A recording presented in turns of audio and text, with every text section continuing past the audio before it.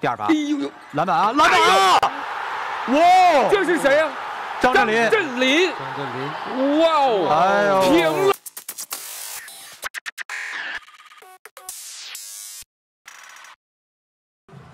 也让我们来共同期待吧，本赛季的最后一场比赛，在开局阶段会怎样的呈现？这也是大家期盼的两天的事情。比赛开始，辽宁队的反应该做何呢？给到了赵睿去防，你看啊，哎，怪伦，哇，这哟，呃，过掉了啊！这个停顿，你呃看漂亮。张镇麟的外线作为回应啊，非常稳定。哎，张镇麟大心脏是。没没，因为这段时间杜峰已经发现所有的呃进攻点都是先从好球，嗯，张镇麟在外线，这个可以。哦。稳啊。这个球，郭艾伦他传给张镇麟两次都是三分得手的，是，这是郭艾伦休息的时段。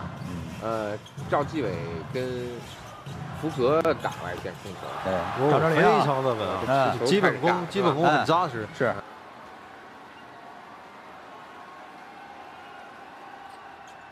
第二罚哎，呦呦，篮板啊，篮板啊！哇，这是谁呀？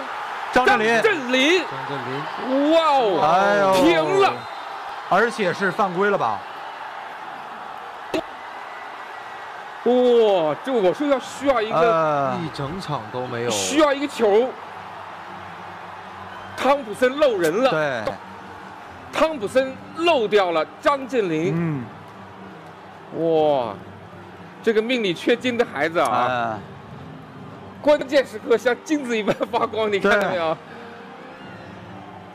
那我的杨明都没想到啊，嗯这时间，自而且己干。该走啊哇，赵继伟，来一个。嗯，哎，哎，呃抢篮板犯规，犯规了。